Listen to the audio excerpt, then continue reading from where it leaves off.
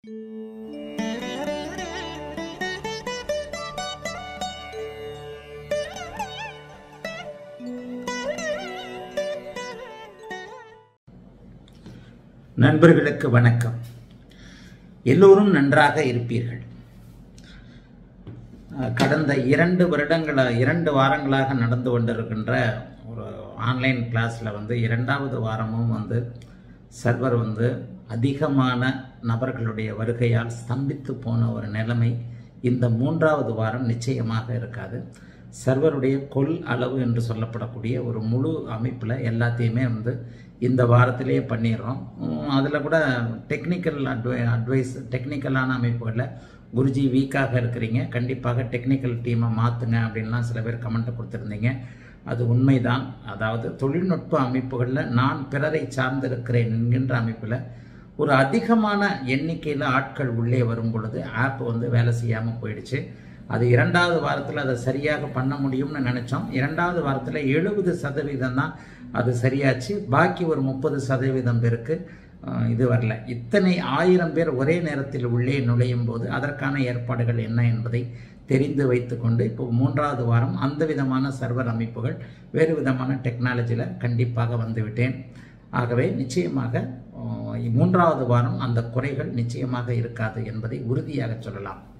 அடுத்து இன்னும் ஒரு ஒரு மகிழ்வான செய்தி. ஏற்கனவே உலகத்தமிழ் ஜோதிடர்கள் மகாஜன சபையின் ஒரு தலைமை பொறுப்பில் இருக்கக்கூடிய நான் ஒரு அமைப்பு வச்சிருக்கிறோம். உலகத்தமிழ் ஜோதிடர்கள் மகாஜன சபை என்கின்ற ஒரு இரண்டு வருடங்களாக குரானாவின் காரணமாக இதில் வந்து ஒரு ஆக்டிவாக இல்லாத ஒரு சூழல். கடந்த மூன்று வருடங்களுக்கு முன்பு பொது மாநாடுகள் பொது மேடைகளில் அனைவரையும் வரவழைத்து பொதுவான ஒரு ஒரு கலந்துரையாடலாக கருத்தரங்கமாக ஒரு ஒரு மாநாடு நடத்தக்கூடிய ஜோதிடனாகிய நான் கொராவின் கொரோனாவின் தாக்கத்தின் காரணமாக கடந்த இரண்டு வருடங்களாக முழுமையாக ரெண்டரை வருஷம்னே சொல்லலாம் மூன்று வருடம் ஆயிடுச்சு. அதாவது அடுத்த வருடம் ஆரம்பிக்கலாம்னு நினைக்கும் போது கொரோனா ஆரம்பிச்சிருச்சு. கிட்டத்தட்ட மூன்று வருடங்களாக பொது மாநாடுகள் நடத்த இயலாமல் இருந்த நிலைமை தற்போது மாறிவிட்டதால் வருகின்ற மே மாதம் பதினான்கு பதினைந்தாம் தேதி. வருகின்ற மே மாதம் பதினான்கு சனி பதினைந்து ஞாயிறு ஆகிய இரண்டு நாட்களும் திருச்சியில் உள்ள ஸ்ரீரங்கம் ஷெல்வி ஐயாவுடைய மண்டபம். திருச்சி ஸ்ரீரங்கத்தில் ராகவேந்திரர் கல்யாண மண்டபத்தில் இரண்டு நாட்களாக கடந்த மூன்று வருடங்களாக உங்களுடைய ஜோதிட ஆர்வத்திற்கு தீனி போட இயலாத நிலையில் முதல் முறையாக இரண்டு நாள் மாநாடு மிக பிரம்மாண்டமான அளவில் உலகத்தமிழ் ஜோதிடர்கள் மகாஜன சபையின் சார்பாக ஒன்பதாவது மாநாடாக இந்த மாநாடு நடக்க இருக்கிறது. மிக பெரியவர்களை கௌரவிக்க இருக்கக்கூடிய இரண்டு நாட்களும் மிகப்பெரிய ஒரு ஜாம்பவான்கள் ஜோதிடத்தை. ஏன்னா என்னுடைய மாநாடு எப்படி நடக்கும் அப்படிங்கிறத பொது வீடியோலையும் யூடியூப் லைவ்லையும் பார்த்துருப்பீங்க. மிக அருமையாக கண்டென்ட் மட்டுமே ஜோதிடம் மட்டுமே பேசப்படும் ஜோதிடர்கள் அல்ல என்பது போன்ற அமைப்பில் இப்போது மாநாடு நடக்க இருக்கிறது. ஆகவே மே மாதம் பதினான்கு மே மாதம் பதினைந்து சனி ஞாயிறு இரண்டு நாட்களும் உங்களை பார்க்க இருக்கிறேன் அப்படிங்கிறது எனக்கு வந்து ஒரு மிகப்பெரிய சந்தோஷமான செய்தி. இங்கே உயர்வு தாழ்வு பெரியவர் சிறியவர் எவருடைய எந்த விதமான ஒரு பேதம் பேதமின்றி ஒரு அனைவரும் கலந்துரையாடக்கூடிய அனைவரும் பங்கு பெறக்கூடிய மாநாடாக இந்த மாநாடு நடக்க இருக்கிறது. ஃபேஸ்புக்லேயும் அடுத்த அறிவிப்பை போட்டு அறிவை போட்டு அறிவிப்பை போட்டு விடுவேன். ஆகவே என்னை நேரில் சந்திக்க வேண்டும் என்னிடம் நேரில் கேள்வி கேட்க வேண்டும் என்கின்ற ஆவல் இருப்பவர்களுக்கு என்னுடைய மாணவர்களுக்கு ஒரு பெரிய தீனியாக கண்டிப்பாக இந்த இரண்டு நாள் மாநாடு நடக்கும். ஆகவே அதை ச- இந்த நேரத்தில் சொல்லிக்கிறது ரொம்ப சந்தோஷப்படுறேன். வருகின்ற மே மாதம் பதினான்காம் தேதி பதினைந்தாம் தேதி திருச்சி ராகவேந்திர திருமண மண்டபத்தில் நம்முடைய உலகத்தமிழ் ஜோதிட மாநாடு ஜோதிட உலகத்தமிழ் ஜோதிடர்கள் மகாஜன சபையின் சார்பில் ஒன்பதாவது மாநாடு நடக்க இருக்கிறது. சரி இப்போது நம்ம பிரிமியம் வீடியோவுக்கு வந்து விடுவோம். ஒரு கலக்கத்தை தரக்கூடிய ஒரு செய்தி ஒரு வருத்தத்தை தரக்கூடிய கமெண்ட்டு இன்றைக்கு நான் வந்து புது வீடியோவில் பார்த்தேன். அதாவது ராம்குமார். இன்றைக்கு வெளியிட்ட ஆங்கில வீடியோவில் இன்றைக்கு வெளியிட்டிருக்கின்ற ஆங்கில வீடியோவில் வந்திருக்கின்ற ஒரு பொது கமெண்ட்டு அதாவது ராம்குமார் வணக்கம்.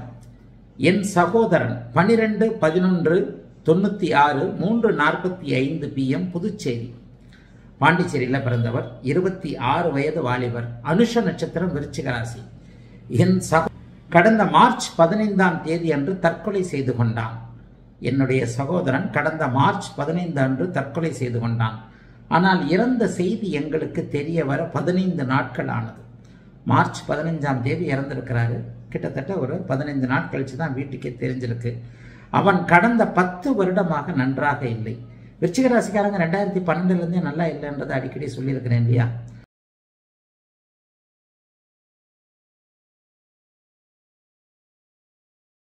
நான் பொது பொதுவாக அதாவது நான் வந்து அஃபிஷியலாக ஜோதிடம் பார்க்க ஆரம்பிக்க இந்த ரெண்டாயிரத்தி பதினொன்றில் வந்தபோது ரெண்டாயிரத்தி பன்னிரெண்டிலிருந்து விருச்சிக ராசிக்காரர்களுக்கு ஏழரைச்சனி ஆரம்பிக்க ஆரம்பித்தது. ஆகவே அந்த கமர்ஷியல் ஜோதிடம்லாம் வந்ததற்கு பிறகு அதிகமானவர்கள் ஆரம்பத்தில் துலாம் ராசிக்காரர்கள் வந்து ஒரு வருடத்தில் அது இரண்டு வருடத்தில் நிற்க ஆரம்பித்து இரண்டாயிரத்தி பதிமூன்றிலிருந்து விருச்சிக ராசிக்கு மிகப்பெரிய தாக்கங்கள் பதினைந்து பதினாறு பதினேழு கொடுமையான வருடங்கள் என விருச்சிகராசிக்காரர்களை அதிகமாக பார்த்ததன் காரணமாக விருச்சிகராசிக்காரர்கள் மேல் அதிக கவனம் எடுத்து ராசி பலன்களை பாசிட்டிவான ராசி பலன்கள்லாம் இப்போ எழுதிக்கிட்டு இருந்தேன்.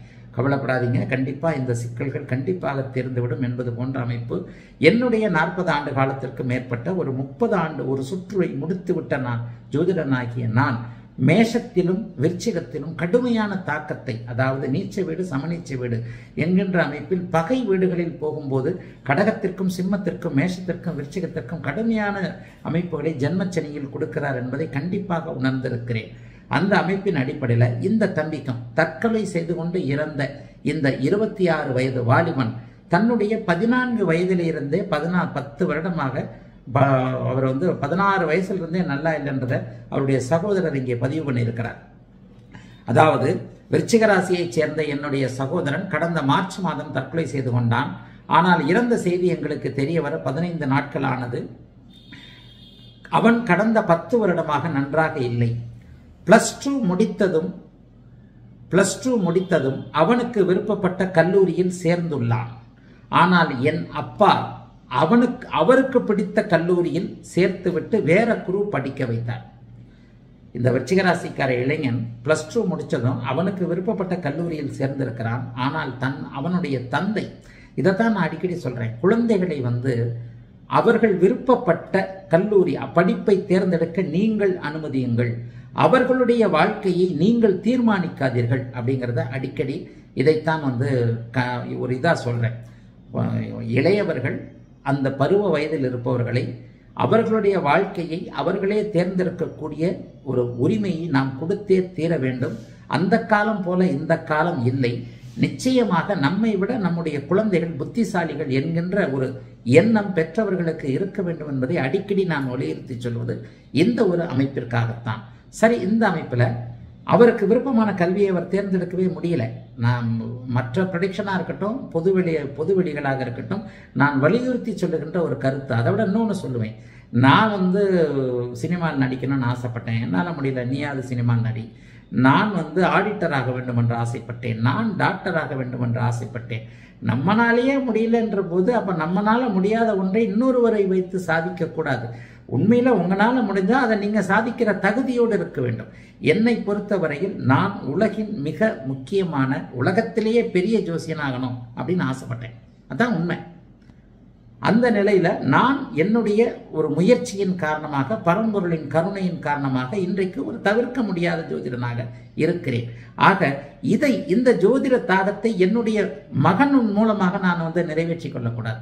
அவனுக்கு என்ன இஷ்டமோ அதைத்தான் தெரிய வேண்டிய அமைப்புகளில் தான் அதை கொடுக்கணும். அது இந்த இந்த சகோதரனுடைய கமெண்ட்டே உறுதி செய்து அதாவது கடந்த பத்து வருடமாக என்னுடைய சகோதரன் நன்றாக இல்லை. அண்ணனா தம்பியான்னு தெரியல. அதை அவர் மென்ஷன் பண்ணலை.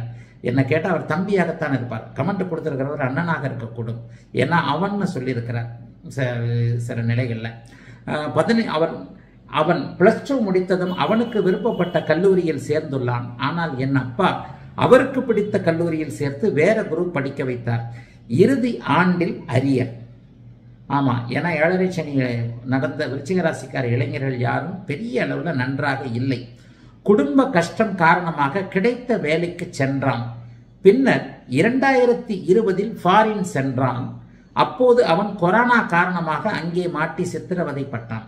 இந்த கொரோனா காரணமாக சித்திரவதை பட்டான்னு சொல்றார் இல்லையா? தனுசு லக்ன ஜாதகம். ஜாதகம் இப்போது வருகிறது. தனுசு லக்னத்திற்கு சுக்கிரபக்தி எப்பவுமே மீன லக்ன ஜாதகம். மீன லக்னத்திற்கு சுக்கிரபக்தி எப்பவுமே வேலை செய்யாதுன்னு சொல்லுவேன். கேது தசை சுக்கரபக்தி ஏப்ரல் ரெண்டாயிரத்தி இருபது இறந்து போன இந்த சகோதரனுக்கு ஆரம்பித்திருக்கிறது. கொரோனா ரெண்டாயிரத்தி இருபது மார்ச்ல என்னமா தான் ஆரம்பிச்சது. ஆக கேது தசை சுக்கிரபக்தியில ஒரு வருடம் வெளிநாட்டில் எட்டாம் அதிபதி என்றனால மீனலக்கண ஜாதகம் வரப்போகிறது. இப்போது அதை சுட்டி அதை போட்டு சுட்டி காட்டுகிறேன். இப்போவே ஜாதகம் வேணா கூட போட சொல்லிடுறேன்.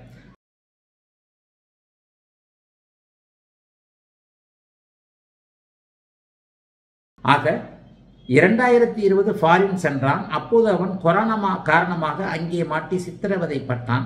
ஒரு வருடம் கழித்து இங்கே வந்தான். அவன் எட்டு வருடம் காதலித்த காதலி அவனை விட்டு சென்றான் அவன் நண்பர்கள் பகைவர்களாக ஆனார்கள். அவன் நண்பர்கள் பகைவர்களாக ஆனார்கள். காதல் தோல்வியால் புகை மதுவிற்கு அடிமையாகி வேலை பறிபோனது. விருச்சிகராசிக்காரருடைய வேதனை. நாங்கள் அவனை வீட்டை விட்டு விரட்டி விட்டோம். எங்கள் குடும்ப மானம் காக்க. அவரையும் சேர்த்து தான் சொல்றார். வேதனையில் அந்த கமெண்ட்டை கொடுக்கிறார். நாங்கள் அவனை வீட்டை விட்டு விரட்டி விட்டோம். எங்கள் குடும்ப மானம் காக்க வெளியில் சென்ற பதினைந்து நாட்கள் கழித்து சகோதரன் வெளியில் சென்ற பதினைந்து நாட்கள் கழித்து போலீஸ் வந்தது. அவனுடைய பர்ஸை காட்டி ஹாஸ்பிட்டல் சென்றோம். அங்கு பிணமாக இருந்தான். ஏன் ஐயா அவனுக்கு இப்படி நடந்தது? ஏன் அவனுக்கு இப்படி நடந்தது? தயவு செய்து விருச்சிக ராசி பிள்ளைகள் இருந்தால் அவர்களிடம் ஆறுதலாக நடந்து கொள்ளுங்கள். நன்றி. விருச்சிகராசி தான் வேதனையின் விடிய விழி வேதனையை தாண்டி விட்டது அப்படின்னு தான் நான் சொல்றேன். விருச்சிகராசி வேதனை எல்லாம் கண்கட்ட பின்னாடி சூரிய நமஸ்காரம். விருச்சிகராசிக்காக இல்லை இதை பொதுவாகவே சொல்லுவேன். இப்போது இது மகர ராசிக்கு நடந்து கொண்டிருக்கிறது. இந்த வேதனை அவிட்ட நட்சத்திரத்திலிருந்து விடிய ஆரம்பிச்சு இப்ப கும்பராசிக்காரர்களுக்கு அடுத்த வருஷங்களுக்கு இந்த வேதனைகள் இருக்கும். ஆனால் விருச்சிகத்திற்கும் மேஷத்திற்கும் கடகத்திற்கும் சிம்மத்திற்கும் இந்த ஜன்மச்சனியின் ஆதிக்கம் கடுமையான ஒன்றாக இருக்கும் என்பது மிக மிக தெளிவான ஒன்று. ஏனென்னா சனியின் ஒரு விரோத தன்மைகள் கொண்ட ராசிகள் இவை. அதாவது ஏழரை சனி சனி ஏழரை சனியின் நாயகனாகிய சனி பகவானுக்கு கடகம் ஆகாது சிம்மம் ஆகாது. அதனை அடுத்து மேஷம் விருச்சிகம் அவருடைய நீச்ச சமநீச்ச வீடு என்பதால் இந்த நான்கு ராசிகளை தன்னுடைய அமைப்பில் அதுவும் இன்னொன்று சொல்லிடுவேன்.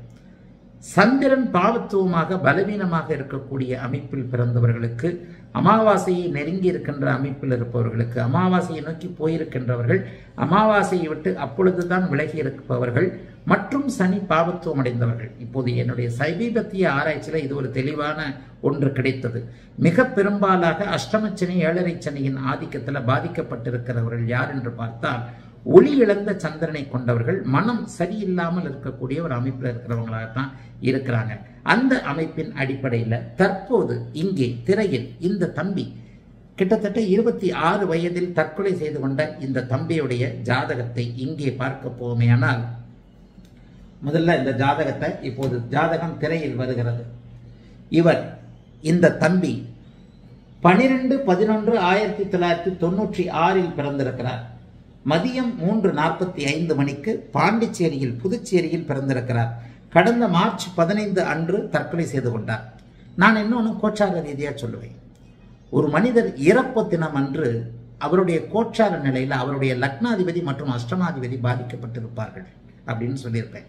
விதிகள் என்றால் அனைவருக்கும் பொதுவான விதிகள் தானே. அது அந்த அமைப்பின்படி லக்னாதிபதியோ அஷ்டமாதிபதியோ பாதிக்கப்பட்டிருப்பார்கள் என்பதையும் இங்கே கவனத்தில் கொள்ளுங்கள். மார்ச் பதினஞ்சாம் தேதி என்ன கிரக நிலை அப்படிங்கிறதையும் பார்க்கலாம். இப்போது திரையில் இறந்து போன அந்த சகோதரனுடைய ஜாதகம் வருகிறது. அவர் கேட்கிறார். என்ன கேட்கிறாரு? எது ஏன் ஐயா அவனுக்கு இப்படி நடந்தது? விருச்சிகராசிக்காரங்க எல்லாருமே இன்னும் ஒரு இருபது வருஷத்துக்கு நல்லா இருக்க போறீங்கன்றது தான் அர்த்தம். பத்து வருடம் இந்த கொடுமையை தாங்கி வெளியே வந்துவிட்டவர்களுக்கு ரெண்டாயிரத்தி இருபத்தி ஒன்றாம் ஆண்டிலிருந்தே படிப்படியாக சில பிரச்சனைகள் ஒரு தீர்வுகள் தெரிய ஆரம்பித்து விட்டன. ரெண்டாயிரத்தி இருபத்தி ரெண்டு நல்லாவே இருக்கு. ரெண்டாயிரத்தி இருபத்தி மூணா டாப்பா இருக்க போகுது. இது வந்து ஒரு கோச்சார ரீதியிலானது. ஆயினும் ஒரு ஐந்து சதவீத பத்து சதவீத பேருக்கு ஆறாம் அதிபதி ஐந்து எட்டாம் அதிபதி தசாபக்திகள் நடக்கும்போது சில விதமான சங்கடங்கள் இருக்கலாம். ஆனால் ஒன்றை மட்டும் விருச்சிக ராசிக்காரர்களுக்கு உறுதியாக சொல்லிக் கொள்வேன்.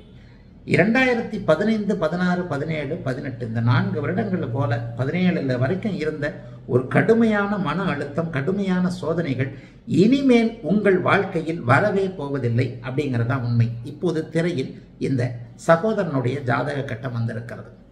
ஒரு முப்பது வயதிற்குள் இறக்கக்கூடிய அற்பாயுள் என்று சொல்லப்படக்கூடிய முப்பத்தி ரெண்டு அல்லது முப்பத்தி மூன்று வயதிற்குள் இறக்கக்கூடிய ஒரு ஜாதக அமைப்பு என்பது மிக தெளிவாக இந்த ஜோ இந்த ஜாதகத்தில் பதிவாகி இருக்கிறது. என்ன அமைப்பு அப்படின்னு பாருங்க. அதாவது அனுஷ நட்சத்திரம் விருச்சிக ராசியில் இந்த தம்பி பிறந்திருக்கிறார். லக்னத்தில் மீன லக்னம். லக்னத்தில் சனி கேது ஆறாம் இடத்தில் செவ்வாய். ஆறாம் இடத்தில் செவ்வாய் ஏழாம் இடத்தில் சுக்கரன் ராகு எட்டில் சூரியன் ஒன்பதில் சந்திரன் புதன் பத்தில் குரு. பிறக்கும் பொழுது சனி திசையில் ஆறு வருடம் பதினோரு நாட்கள் மிச்சம் இருக்கின்ற நிலையில் இவர் பிறந்திருக்கிறார். கேது திசை சந்திர புக்தி புதன் அந்தரத்தில் இவர் இருந்து இறந்திருக்கிறார். மார்ச் பதினைந்து. கடந்த மார்ச் மாதம் பதினைந்தாம் தேதி இவர் இறந்திருக்கிறார் என்பதை சகோதரர் பதிவு செய்திருப்பதால்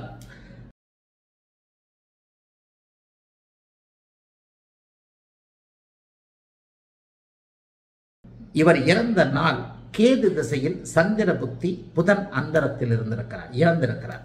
சரி இப்போ இவருடைய ஜாதக விளக்கம் இங்கே தெரிகிறது. இந்த ஜாதக விளக்கத்தை பார்க்க போவோமேயானால் அற்பாயுள் அமைப்புகளுக்கு லக்னாதிபதி ஆயுள் காரகன் ஆயுள் அமைப்புகளை கொண்ட ஆயுள் ஸ்தானாதிபதி கெட்டிருக்க வேண்டும் பலவீனமாக இருக்க வேண்டும். இந்த ஜாதகத்தில் சுக்கிரன் நீச்சம் சந்திரன் நீச்சம் சூரியன் நீச்சம் என மூன்று கிரகங்கள் பலவீனமான நிலையில் இருக்கிறார்கள். சுபத்துவத்தின் அறிகுறி அங்கே இல்லை. சுக்கிரனுக்கும் சுபத்துவ அமைப்புகள் இல்லை. மாறாக சுக்கிரன் பாவத்துவம் அடைந்திருக்கிறார். சூரியனுக்கும் சந்திரனுக்கும் அதை போலவே. அதாவது முதலில் லக்னம். லக்னம் மேம்போக்காக சனி கேதுவால் இணைந்து அங்கே சூட்சும வலுப்பெற்ற பெற்ற சனி இருப்பதைப் போல தோன்றினாலும் கூட செவ்வாயின் பார்வை செவ்வாயின் தொடர்பு அங்கே இருந்து விட்டால் சனிக்கு சூட்சும வலு இருக்காது அப்படிங்கிற ஒரு அமைப்பை அழுத்தி சொல்லியிருக்கிறேன் இல்லையா? செவ்வாயின் எட்டாம் பார்வையை அவர் பெற்ற காரணத்தினால் சனி இங்கே பாவத்துவம் அடைந்திருக்கிறார். அதாவது ஒரே நேரத்தில் நான் அடிக்கடி சொல்வதைப் போல சனி செவ்வாய் ராகு கேதுக்களின் தாக்கம் இங்கே லக்னத்திற்கு அமைந்திருக்கிறது. இவர் முப்பது வயது வரை கிட்டத்தட்ட இருபத்தி ஆறு வயது வரை வாழ அனுமதிக்கப்பட்டதே இங்கே லக்ன நாயகனாகிய குரு ஆட்சி என்கின்ற ஒரு நிலையில் இருக்கின்ற ஒரு காரணத்தினால்தான். அதாவது ஆயுள் காரகன் ராகு கேதுக்களால் பாதிக்கப்பட்டு செவ்வாயின் பார்வையால் இருக்கின்ற காரணத்தினால். இதை தெளிவா ஏதோ ஒரு வீடியோவில் சொல்லியிருக்கிறேன். அதாவது என்னுடைய சூட்சுமவலு கோட்பாட்டின் அடிப்படையில் நான் உணர்ந்த நிலையில் தனியாக செவ்வாய் சனியின் தொடர்பு இல்லாமல் ஒருவருக்கொருவர் தொடர்பு இல்லாமல் சனி கேது தனியாக செவ்வாய் கேது தனியாக இருக்கும் பொழுது மட்டுமே இந்த சூட்சும வலு என்பது மிகப்பெரிய அளவில் நல்ல விதமான அமைப்பை கொடுக்கு ஒரு நைன்டீன் நைன்டி செவன் ஜாதகத்தை போட்டு இதை சொல்லியிருந்தேன். செவ்வாய் ராகு சனி கேது இருக்கின்ற அமைப்பில் இந்த சூட்சும எடுபடவில்லை என்பதை மிகப்பெரிய ஒரு ஆய்வுகளில் நான் உணர்ந்திருக்கிறேன் அப்படின்றத சொல்லியிருந்தேன். அந்த அமைப்பின் அடிப்படையில் சனி கேது இணைந்து இங்கே சூட்சும வலுவாக இருந்தாலும் கூட செவ்வாய் எட்டாம் பார்வையாக பார்த்து அந்த சூட்சும வலு ரத்து செய்யப்பட்டு விட்டது என்பதுதான் உண்மை. ஆயுள் காரகன் பாவத்துவமான இதே நிலையில் ஆயுள் ஸ்தானாதிபதியாகிய சுக்கிரன். ஆயுள் ஸ்தானாதிபதியாகிய சுக்கிரன் பதினோரு பனிரெண்டு டிகிரிக்குள் ராகுவுடன் இணைந்து நீச்சம் என்கின்ற பலவீனத்தில் வேறு எந்த விதமான அதாவது பொதுவாகவே சுக்கிரன் வந்து அங்கே நீச்சமான புதனோட பரிவர்த்தனை ஆவார். அந்த அமைப்பு கூட இல்லை. புதனோடு பரிவர்த்தனை கூட ஆகாமல் ஆயுள் ஸ்தானத்தில் அதாவது நீடித்த ஆயுளை கொடுக்கக்கூடிய கண்டிப்பாக கவனிக்கப்படக்கூடிய எட்டாம் பாவகத்தில் ஆறாம் அதிபதியும் நீச்சமாக அமர்ந்து அங்கே நீச்சபங்கமோ சுபத்துவமோ இல்லாத நிலையில் எட்டாம் அதிபதியான சுக்கிரன் நீச்ச நிலையில் ஏழாம் இடத்தில் சனியின் பார்வையில் பனிரெண்டு டிகிரிக்குள் ராகுவோடு இணைந்திருக்கின்ற ஒரு அமைப்பு. தெல்ல தெளிவாக தெரிகிறது. ஆயுள் குற்றம் என்று சொல்லப்படக்கூடிய அற்பாயுள் தோஷம் இந்த தம்பிக்கு இருக்கிறது. நாம் எத்தனை ஆயுள் அற்ப இது இந்த ஆயுர்தாய கடிதங்களை போட்டால் இந்த கணிதங்கள்லாம் மேலோட்டமானவை. என்றைக்கு ந- நம்முடைய சுபத்துவ பாபத்துவ சூட்சுமவலு கோட்பாட்டின் அடிப்படையில் கிரகங்களுடைய பலத்தை பலவீனத்தை புரிந்து கொள்கிறோமோ அப்பொழுது தெல்ல தெளிவாக சில விஷயங்களை சொல்லிடலாம் அப்படிங்கிறதா உண்மை. இங்கே சுக்கிரனின் பார்வையை வாங்கிய கேது தசை ஆரம்பித்த உடனேயே இவர் இரண்டு வருடங்களாக வெளிநாட்டிற்கு செல்லுகிறார். அட்டமாதிபதியுடைய தசை இல்லையா? அட்டமாதிபதியின் தசையில் வெளிநாட்டிற்கு சென்று கேது திசையில் சுக்கிர புக்தி ஏப்ரல் இரண்டாயிரத்தி இருபது ஆரம்பித்த உடனே மரண அவஸ்தைகள் ஆரம்பிக்கின்றன. ஏற்கனவே அனைத்திலும் ஏழரை காரணமாகவும் ஒரு சாதகமற்ற தசை அமைப்புகள் நீச்சனோடு இணைந்து நீச்சனோடு இணைந்து செவ்வாயின் பார்வையை பெற்ற புதன் தசை ஆறு வயதிலிருந்து நடந்து கொண்டிருக்கின்ற காரணத்தினால் அத்தனையும் நெகட்டிவா போன ஒரு விஷயம்.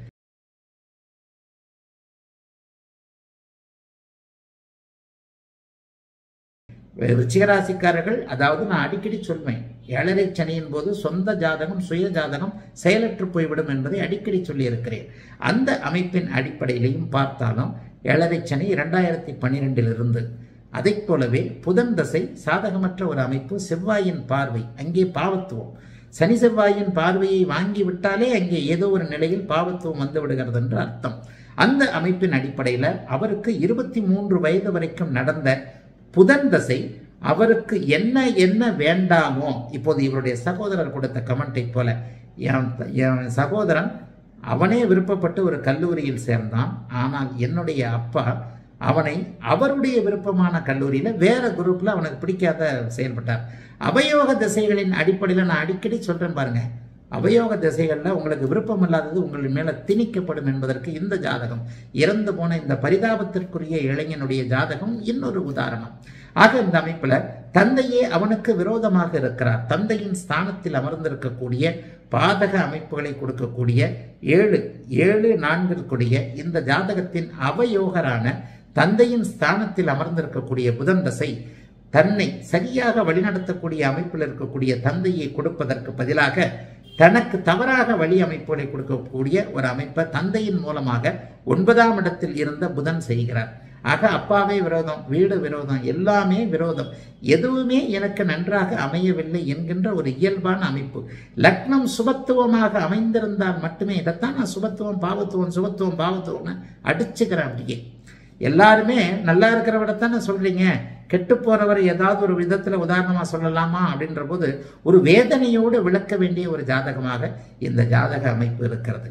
இந்த அமைப்பின் அடிப்படையில லக்னம் பாபத்துவமாகி சனி செவ்வாயின் பார்வை ராகு கேதுக்களின் தொடர்பு நீச்ச சுக்கிரனின் பார்வை என்ன இருந்தாலும் நீச்சனாக இருந்தாலும் இந்த சுக்கிரன் லக்னத்தை பார்க்கின்றதன் அடிப்படையில தான் கிட்டத்தட்ட ஒரு முரண்பட்ட தத்துவம் இது. இருபத்தாறு வயசு வரைக்குமே ஆயுள் நீட்டிப்பிற்கு காரணம் லக்னாதிபதி ஆட்சியாக இருப்பதும் சுக்கிரனின் பார்வை அங்கே இருப்பதும் தான். சுக்கிரனின் பார்வை சுப பார்வை. ஆதிபத்திய கெடுதல்கள் காரக நன்மைகளை சுபர்கள் செய்வார்கள் என்பதை நான் அடிக்கடி வலியுறுத்தி சொல்றேன். அதை தெளிவாக புரிந்து கொள்ள வேண்டும். ஆதிபத்திய கெடுதல்கள் காரக நன்மைகள் கண்டிப்பாக இருக்கும். ஆதிபத்தியத்தின் அடிப்படையில் எட்டாம் பாவகாதிபதியாக அவர் அமைந்து நீச்சனாகி ராகுவுடன் பனிரெண்டு டிகிரிக்குள் இணைந்திருப்பதால் அவர் ஆயுள் பங்கத்தை செய்தார். அதாவது ஆயுளை தர்றதுக்கு அவரால் முடியல. ஆயுளை தருவதற்கு அவரால் இயலவில்லை அப்படிங்கிறது தான் உண்மை. கேது திசை ஆரம்பித்த உடனேயே எட்டாம் அதிபதியின் பார்வையை வாங்கிய கேது. எட்டாம் அதிபதி. உபய லக்கணங்களுக்கு ஏழு பதினொன்றுக்குடையவர்கள் மாரக பாதக அதிபதிகளாக வருவார்கள். உபயலக்கணத்திற்கு பதினொன்றாம் அதிபதியான மாரகத்தை மரணத்திற்கு நிகரான துன்பத்தை கொடுக்கக்கூடிய சனியுடன் இணைந்து எட்டாம் அதிபதியான அஷ்டமாதிபதியான சுக்கரனின் பார்வையை வாங்கியிருக்க சுக்கரனின் பார்வையை வாங்கியிருக்கக்கூடிய இந்த சுக்கரனின் பார்வையை வாங்கியிருக்கக்கூடிய இந்த கேது இந்த ஜாதகரை மாரகம் செய்வதற்கு தகுதியானவனாக இருக்கிறார். சரி சந்திரபக்தியில் எப்படி மரணம் நடந்தது? சந்திரபக்தி எப்படி மரணத்தை கொடுத்தது என்றால் பொதுவான மாரகாதிபதிகளான இரண்டு ஏழுக்குடையவர்களோடு தொடர்பு கொண்ட எந்த ஒரு கிரகமும் பொதுவாக ஒரு ஒளி இழந்த கிரகம். இது இன்னொரு சுற்றுமமான ஒரு விஷயம். நான் உணர்ந்த விஷயம். பொதுவாக ஒரு ஒளி இழந்த கிரகம் தன் தன்னோடு இணைந்த தான் சார்ந்திருக்கின்ற சில விஷயம் சில கிரகங்களிடமிருந்து சிலவற்றை கடன் பெறுகிறது என்பதை நான் தெளிவாக சில நிலைகளில் உணர்ந்திருக்கிறேன். இதை குறிப்பாக சனி போன்ற ஒரு சனி இருள் நிலையில் இருக்கும்போது சனி ராகு போன்றவைகளோடு உணர்ந்திருக்கிறேன். சனி நீச்சமாகி இருள் தன்மையோடு இருக்கும் பொழுது அவருக்கு அருகில் இருக்கக்கூடிய சில தன்மை சில கிரகங்களுடைய தன்மையை அவர் ஏற்றுக்கொள்ளுகிறார் புதனையும் இதை நான் கவனிச்சிருக்கிறேன். இந்த அமைப்பின் அடிப்படையில் சந்திரன் இங்கே நீச்சமாக இருக்கிறார். இந்த நீச்சமான சந்திரனுக்கு இரண்டு தொடர்புகள் ஏற்பட்டிருக்கின்றன. ஒன்று பொதுவான மாரகாதிபதியான இரண்டாம் அதிபதியான செவ்வாயின் பார்வை. இன்னொன்று ஏழாம் அதிபதியான புதனின் இணைவு. இந்த இரண்டு மாரகாதிபதிகளின் இரண்டு ஏழுக்குடையவர்களுடைய தொடர்பை பெற்ற சந்திரன் அவருடைய புக்தியில் புதனுடைய அந்தரத்தில் மரணத்தை கொடுக்கக்கூடிய ஒரு தகுதியை பெற்று இந்த இளம் வாலிபனின் வாழ்க்கை பரிதாபகரமாக இருபத்தி ஆறு வயதிலேயே முடிஞ்சிருச்சு. சரி அதை விட இன்னொன்று தற்கொலை ஏன் செய்து கொள்ளணும்? தற்கொலைக்கு காரணமான கிரகம் அடிக்கடி நான் சொல்லியிருக்கிறேன் சனி ராகு. முக்கியமாக ராகு.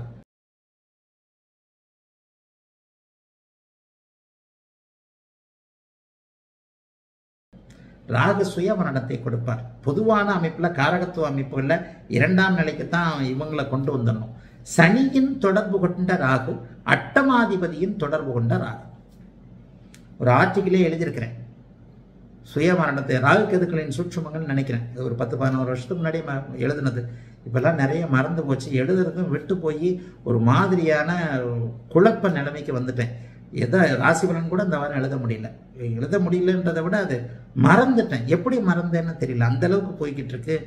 ஒரு ஒரு ஒரு பிரச்சனைக்குரிய நேரமே கிடைக்காத ஒரு லெவலுக்கு வந்துகிட்டு இருக்கேன். ஆக எழுதிய ஒரு அமைப்பிலேயே அட்டமாதிபதியின் தொடர்பை பெற்று ஆறாம் இடத்தில் இருக்கக்கூடியவர் ஆறாம் அதிபதியின் தொடர்பை பெற்று எட்டாம் இடத்தில் இருக்கக்கூடியவர் ராகு வந்து கடுமையான சுய மரணம் என்று சொல்லப்படக்கூடிய தற்கொலை எண்ணங்களை தூண்டுவார் அப்படின்னு அடிக்கடி சொல்லியிருக்கிறேன் எழுதியிருக்கிறேன். அந்த அமைப்பின் அடிப்படையில் எட்டாம் அதிபதியின் தொடர்பை பெற்ற ராகு அங்கே சனியின் தொடர்பையும் பெற்றிருக்கிறதுனால ராகு கெதுக்கள் எப்பவுமே ஒரே கிரகம் தான் அங்கே கேதுவாக இருந்தாலும் கூட சில நிலைகளில் ராகு கெதுக்கள் எப்படிப்பட்ட தன்மையை பாபத்துவமாக இருக்கும்போது செய்யும் என்பதை நுணுக்கமாக கணிக்க வேண்டிய ஒரு நிலைமை அந்த அமைப்பின் அடிப்படையில் சுய மரணம் என்று சொல்லப்படக்கூடிய தற்கொலை எண்ணத்தை ராகு தூண்டி இந்த இளம் வாலிபனை மார்ச் பதினஞ்சாம் தேதி தற்கொலை பண்ணிக்கக்கூடிய அளவிற்கு இங்கே ஒரு சோகமான ஒரு சம்பவம் அவருடைய சகோதரராலேயே பதிவு பண்ணப்பட்டிருக்கிறது. ஆக வேத ஜோதிடம் என்பது எத்தனை மிகுந்த ஒரு தெளிவான ஒரு தன்மையா இருக்குதுன்றதை இங்கே நல்ல ஒரு அமைப்பில் புரிஞ்சுக்கலாம். லக்னாதிபதியின் ஓரளவிற்கான வலுவின் காரணமாக அதே நேரத்தில் எட்டாம் பாவகம் கொஞ்சம் சுபத்துவம் அடைஞ்சிருந்தா கூட ஆயுள் நீட்டிப்பு இன்னும் கொஞ்சம் மத்தியம ஆயுளாக வந்திருக்கும்.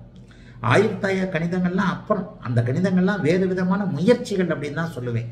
அஷ்டவர்க்கங்கள் ஆயுர்தாய கணிதங்கள் அவைகள் எல்லாமே வேறு விதமான ஒரு கணிதத்திற்குள் எண்களுக்குள் ஜோதிடத்தை அடக்கிவிட முடியுமா என்பதோடு என்பதாக பார்க்கப்பட்ட சில விஷயங்கள்.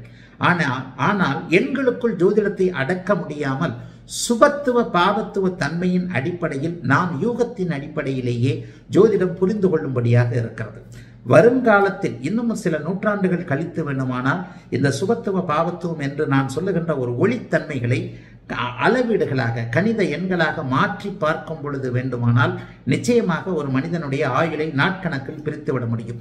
ஆனால் இன்றைக்கு இருக்கின்ற ஆயுர்தாய கணிதங்கள் மற்ற விதமான அஷ்டவர்க்க கணிதங்கள் போன்றவைகள் ஒரு மனிதனுடைய ஆயுளை துல்லியமாக சொல்லக்கூடிய நிலைமையில் இல்லை என்பதே உண்மை.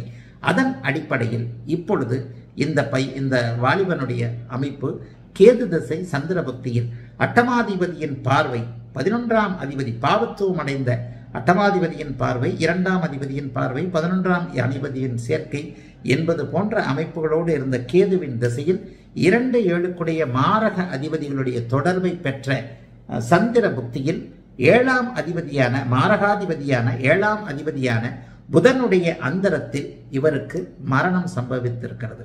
அடுத்து இன்னொன்று சொன்னேன் இல்லையா? என்ன சொன்னேன்? அந்த ஒரு கோட்சார நிலைமை அப்படிங்கிறத மிக தெளிவாக புரிந்து கொள்வதற்கு. கோட்சார நிலைமைகள் எதற்காக எப்படிப்பட்ட தன்மையில் இருக்கும் அப்படின்றத பார்த்து நம்ம புரிஞ்சுக்கிட்டோம் அப்படின்னு சொன்னாலே இந்த அமைப்பில் இப்போது இந்த பரிதாபத்திற்குரிய இளைஞன் தற்கொலை செய்து கொண்ட மார்ச் மாதம் பதினைந்தாம் தேதி ரெண்டாயிரத்தி இருபத்தி ரெண்டு கிரக நிலைகள் இப்போது கோச்சார ரீதியாக காட்டப்படுகின்றன. அந்த அமைப்பின் அடிப்படையில் பார்த்தீங்கன்னா அட்டமாதிபதியாகிய சுக்கிரன் பத்து அல்லது பன்னிரெண்டு டிகிரிக்குள் செவ்வாய் சனியோடு இணைந்திருக்கிறார். இந்த ஜா பிறவி ஜாதகத்தில் எட்டாம் அதிபதியாகிய சுக்கிரன் கடுமையான பாவத்துவத்தை அன்றைக்கு மார்ச் மாதம் கோச்சார நிலையில் அடைஞ்சிருக்கிறார். சுக்கிரன் பதினான்கு டிகிரியில் இருக்க செவ்வாய் இரண்டு டிகிரிக்குள் அதாவது சுக்கிரனும் செவ்வாயும் இரண்டு டிகிரிக்குள் அமர சனி அங்கே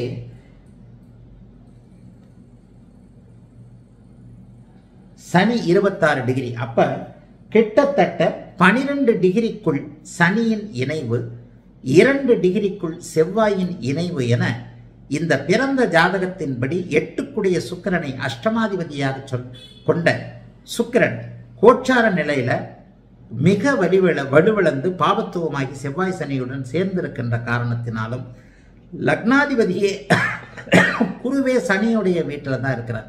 லக்னாதிபதி குருவே சனியின் வீட்டில் இருக்கிறார். சனியின் வீட்டில் இருக்கின்ற காரணத்தினாலும் இங்கே இந்த பையனுடைய விருச்சிக ராசி அமைப்பின்படி ஒன்று இரண்டாம் எண்களுக்குள்ள வர வேண்டாம்.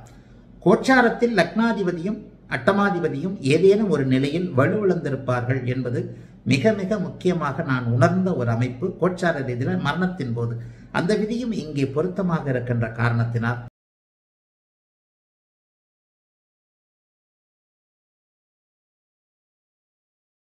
பரிதாபத்திற்குரிய வகையில் வாழ்க்கையில் அனைத்துமே ஒரு விதமான அமைப்பு.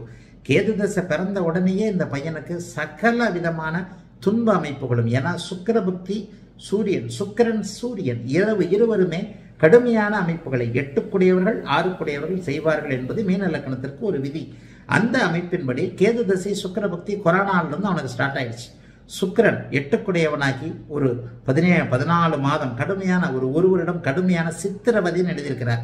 அந்த சித்திரவதைகளை கொடுத்த நிலையில் அடுத்து ஆறுக்குடையவனாகிய சூரியனும் அங்கே ஆறுக்குடையவன் எட்டாம் இடத்தில் நீச்சம் என்கின்ற பாபத்துவத்தை அடைந்திருக்கின்ற காரணத்தினால் அந்த சூரிய பக்தியும் சரியில்லாமல் போய் இவரே எழுதியதை போல நாங்களே அவனை வீட்டை விட்டு விரட்டிட்டோம் அப்படின்ற மாதிரி மனம் பாதிக்கப்பட்டு சுக்கிரன் சூரியன் சந்திரன் மூவரும் பாதிக்கப்பட்டிருந்த நிலையில சந்திர பக்தியில் மாரகாதிபதிகள் ஆகிய இரண்டு ஏழுக்குடையவருடைய தொடர்பை பெற்ற சந்திர பக்தியில இவருடைய மரணம் நிகழ்ந்திருக்கிறது.